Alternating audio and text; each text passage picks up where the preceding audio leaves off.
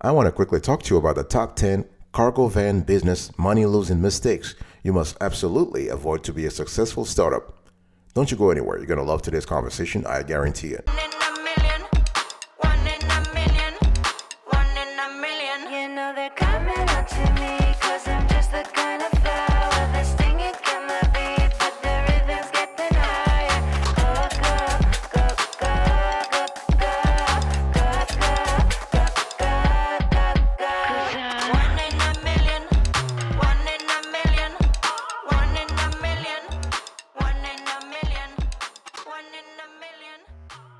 Welcome back, folks, to another edition of the Awesome S'witty Kiwi Show. How are you today? I hope you are doing fantastic. I'm doing marvelous. If you were to ask me, if you are doing as great as I am, go grab a cup of coffee or tea or vodka and let's roll.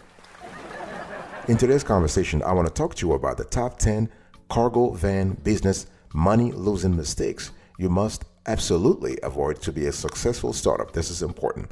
The first one is insurance. Okay, lacking the proper insurance coverage can cost you a lot of money not only in terms of uh, regulation, in terms of regulatory compliance, but also in terms of business. Okay, this is important. So, delivery businesses require insurance policies to operate, no doubt about it. However, some treat it as a little more than a mere formality and neglect to secure the proper coverage. So, boss, I don't want you to do that, okay? Because you can end up struggling with your financial resources when problems arise. Don't let, don't let this happen to you. This is important. So you want to make sure you explore all of your all your options to find the right resources, the right insurance coverage your business needs. This is important because that insurance will help protect your business financially in the event of an issue. And anything can happen, boss. Anything can happen. When you have a cargo van business, anything can happen. So this is important that you need to have the right the right insurance, okay? And I'm talking here about cargo vans. I'm talking about passenger vans. I'm speaking about minivans, okay? You are you're talking about delivery vans sprinter vans, wheelchair vans, and many more. This is important. So you you actually uh, so when we talk about commercial van insurance, we are speaking about: Are you a courier? Are you an um, a florist? Are you a caterer that make deliveries? Are you electricians? Are you an electrician, plumber, or tradesman making service calls? Whatever the whatever you use a cargo van for, it's important that you have the right insurance. So if push come to shove, if something happens, your ass is protected. And this is important. You need to preserve your personal assets from a lawsuit, okay? So have the proper insurance. And the thing is, you can actually go to an insurance broker.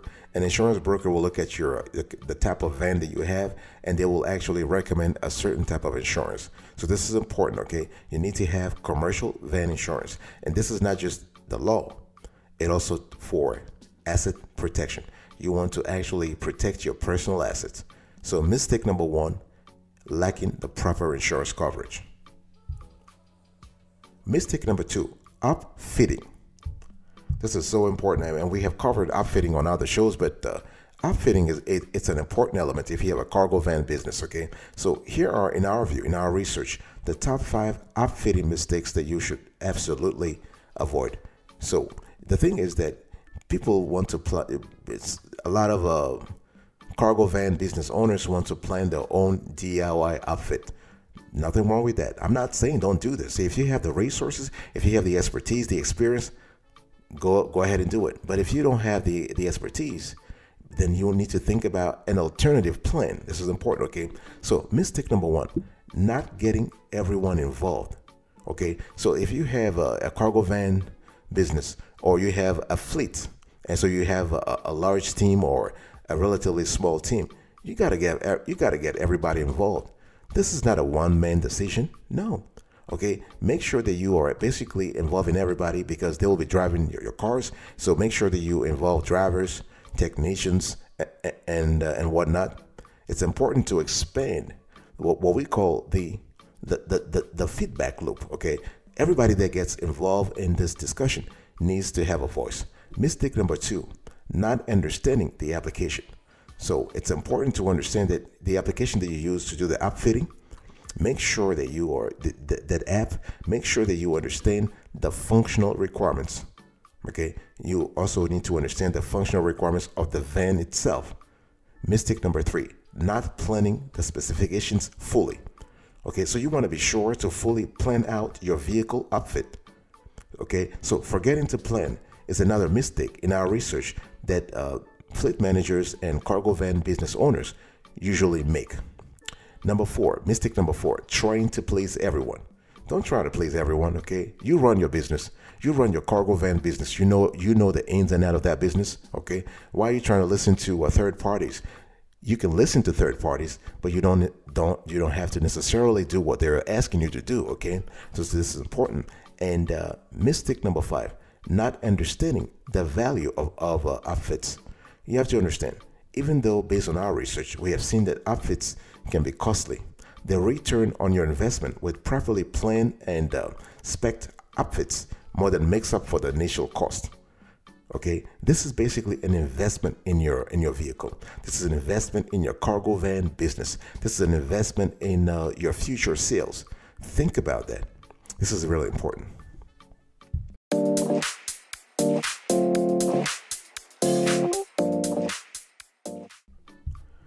Mistake number three USB. I'm not saying UPS, this is US, USB. USB means what? A unique selling point. So, failing to offer a unique and distinctive selling point is one mistake that cargo van business owners make. What is that? First of all, a unique selling point, also called unique selling proposition, is basically what makes your product or service better than competitors. Okay, so what makes your cargo van business distinct? Boss, I want you to talk to me about that. What is what are your fortes? Okay, so the, the, the thing is you have to find a way to first of all identify your fortes, your unique selling point, and also communicate that to potential clients. Okay, in online marketing, communicating your USP clearly and quickly is one of the keys to getting potential customers to convert on your site. But for your cargo van business, you need to find out the customer journey. You need to understand how the customer make makes a decision in terms of loads. Okay, how to how to get the best loads in your industry. So you need to have a unique selling point and communicate that. So when we talk about unique selling point, this is what basically differentiates you from your competitors. Chances are you're not the only one, you're not the only cargo van business in town, okay? You have uh, thousands of other cargo van business owners. But what is what is making you different? You need to think about your resources. Maybe it's the vehicle that you have. Maybe it's the outfit that you have. You have the proper outfitting that basically can um, can help you uh, do uh, larger deliveries. Okay, this, those are important things to think about. Is it the quality of your service? Is it the quality? Is it the, the speed? How fast you deliver things? So you need to think about all the pros about to your, uh, your about your business and maybe minimize the cons. Okay, look at the the advantages and minimize the drawbacks. So this is something I really want you to do. You can do it yourself. You can do it with your team. It's very easy. It's a it's an easy brainstorming session that allows you to really identify you know exactly what makes you stand out in the market. Why should I hire you? Talk to me about that. And why should I hire you versus uh, your next door competitor or your next door cargo van business owner? Okay, this is important. Number four, pricing. So, focusing on price over quality is a mistake that I want you to stop making today. I don't care how uh, beautiful your, your cargo van is or how whatever. I, you got to really stop that. Okay. So, the thing is that if you, it, I'm not saying that you shouldn't focus on, on pricing. Pricing is important because pricing actually correlates or relates to your bottom line, to your revenue and your income. That's true. But I want you to focus first on quality. You want to prioritize quality in terms of the service, in terms of the logistics, how to actually take care of loads. Focus on quality and customers will come. Okay. And and, and the thing is, quality, focusing on quality is a medium term to long term vision versus the price which is a short-term vision. But the, the thing is, you make more money. You have a more customer loyalty in the long run. You get more loads if you're able to focus on quality. Okay, and uh, so so while this primarily applies to products used in your outfits, it also applies to who completes your outfits. It also applies to who delivers your loads. It also applies for it also applies to technicians that do the work for you, to drivers. Okay, think about quality. I would say uh, holistically, not just in in one dimension, but multi-dimensionally. Okay, mistake number five: proof of delivery. So overlooking proof of delivery applications. So the thing is that it, it is a common practice to use uh, POD proof of delivery applications these days for delivery businesses because, as the name suggests, it shows proof that specific items have been delivered. Okay, so without a POD app, there is a chance that you may be forced to have the things redelivered, costing you more time and money in the process. And nobody wants that. So you need to have a POD. So try to find yourself a POD app that is uh, basically uh, clear enough that uh, that shows that you indeed have delivered the products at this location at this hour. This is important for your cargo van business, okay? You don't want to lose money by, you know, going to the same location twice, especially if this is a a, a remote location. You don't want to do that. So don't overlook proof of delivery applications. There are there are tons of them out there. Some are free, some are paid. But even if you're paying five dollars a month or ten dollars a month, it's totally worth it. Totally worth it.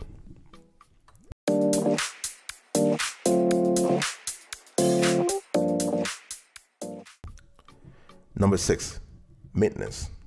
So, not maintaining your vehicle or your fleet. Boss, when was the last time you maintained your fleet? When was the last time you maintained your vehicle? Talk to me about that. Are you neglect? Are you neglecting your um your vehicle? Because when we talk about a cargo van business, the fleet or the vehicle is the lifeblood here.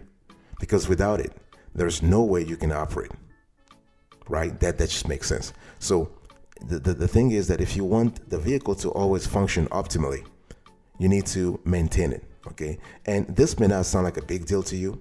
However, watching over your vehicles and ensuring that they they get the care, attention, and products like protective coating will enable those vehicles to perform the way they should and expand their lifespan. Okay, this is important. So pay attention to those things uh, maintaining your fleet, maintaining your cargo van, uh, your cargo van um, business, the vehicles in that business is quintessential. Mistake number seven: the vehicle itself. Do you know your vehicle, boss? Not knowing your vehicle is mistake number seven, and this is a big blunder that a big, big mistake that a lot of uh, cargo van business owner make. A lot of cargo van business owners they they really have no idea how their vehicle their the, the vehicle operates. Now you might be, you might be laughing right now at this, but this is really true. L- let me ask you a question. Do you know what your what your vehicle's maximum capacity for weight is? Do you know about properly balancing your your your truck or van to avoid uneven wear and maintenance problems? So don't fall into the trap of dreaming of your ideal cargo van without looking over the logistics. Okay. So, reading through your vehicle manual or look online for proper information is a must. You need to familiarize yourself with the vehicle you're driving, boss. It's important. Okay, it's important. You need to know because not just for for logistical, uh, I would say logistical uh, uh, necessity, but you also need to comply with uh, a lot of regulations. Okay, so how can you comply with regulations if you have no idea or you have uh, just an iota of idea about your business? So, starting today, I want you to beef up your knowledge about your vehicle, how the vehicle operates, what are the, the, the, the most critical information that you need to know about the vehicle. I'll be right back right after this. Don't go anywhere.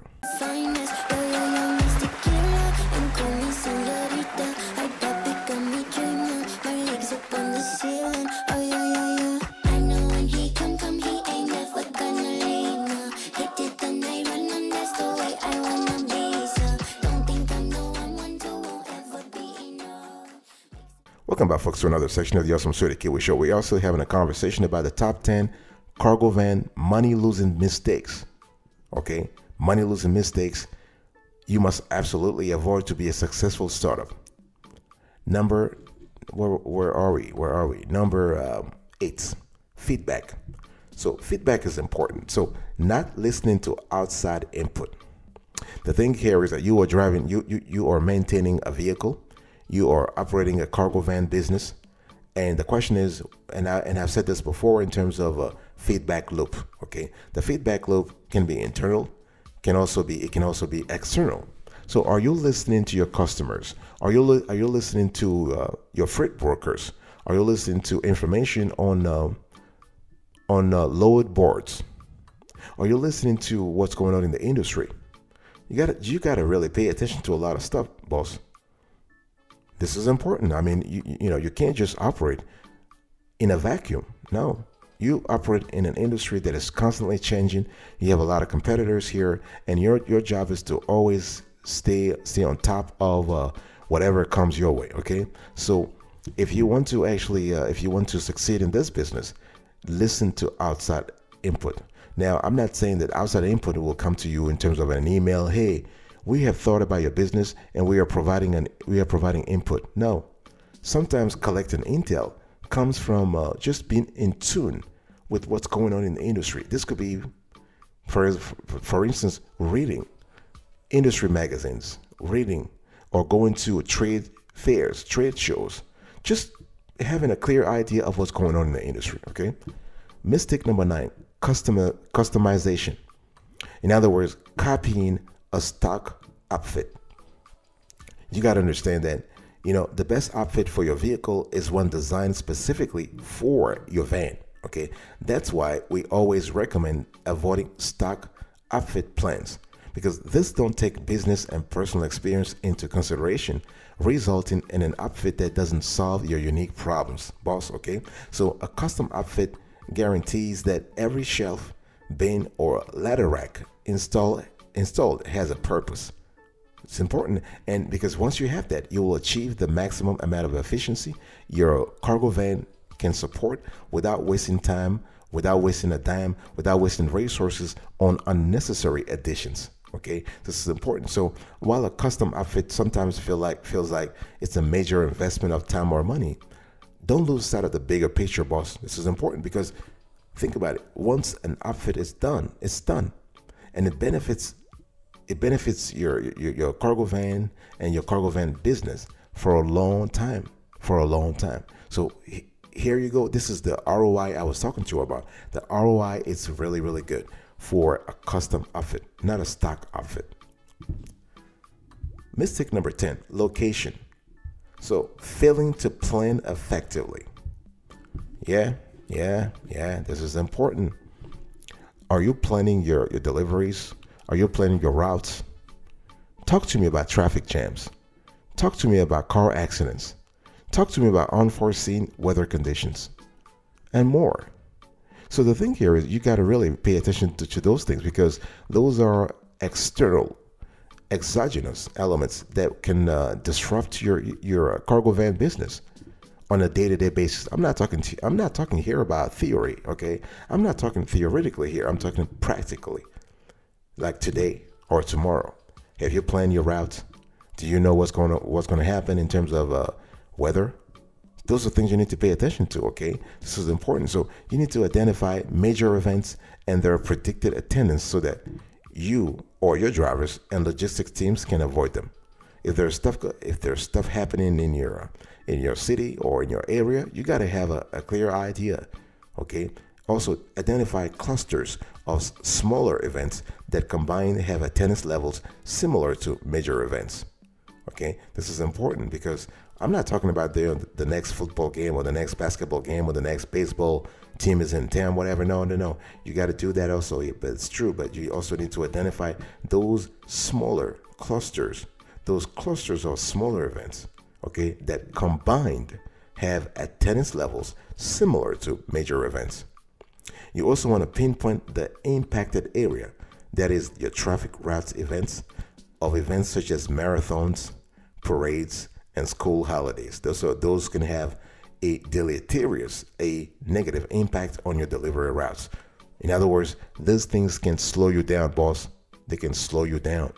Okay, so, so you you have to really um, plan here, and you want to track. You want to really track live disruptive events at scale with important detail your, your teams or or um, or yourself can process quickly okay so you want to be very clear about what's happening in your area or what's happening in the area where you are about to deliver the stuff and understand that you want to understand how major events impact driver supply for faster deliveries during busy times the thing is during rush hour what is the impact of rush hour on your business? Those are things you need to. So I'm just giving you here a constellation of uh, elements, a constellation of uh, facts that can have a, a, a big impact, a negative impact on your cargo van business if you fail to plan effectively. So the, the, the, the thing is you need to plan effectively.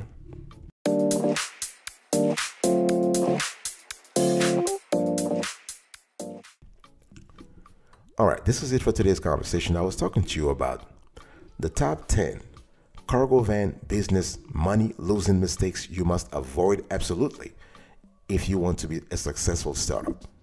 Number one, insurance. So, lacking the proper insurance.